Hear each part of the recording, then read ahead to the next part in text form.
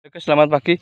Terlihat uh, untuk M70 ini banyak yang dimakan uh, burung pipit. Nampak yang di pinggir-pinggir yang uh, tuanya masih lama guys terhitung tanam yang belakangan diambil yang muda di pinggir-pinggir namun aman untuk di tengah-tengahnya di kejauhan uh, di tengah-tengahnya masih rumput untuk buah-buahnya tidak ada serangan berarti hanya satu dua yang di pinggir guys. Seperti ini ini dikarenakan karena mungkin sulaman atau mungkin apa tertinggal tuanya.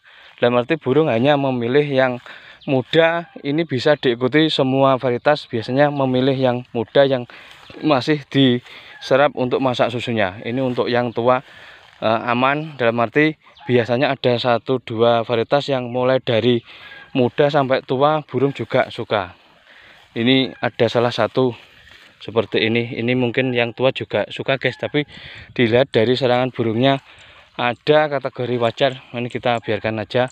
Mungkin salah satu bentuk untuk uh, sesuatu yang dimakan hama ataupun apa itu di lahanmu adalah kategori sodako itu yang menjadi referensi kita bagi-bagi uh, hasil bagi-bagi rezeki mungkin di beberapa tempat nanti kita akan mendapat uh, berkah yaitu harganya mahal jumlahnya dikit ataupun uh, mendapat dari rezeki yang lain.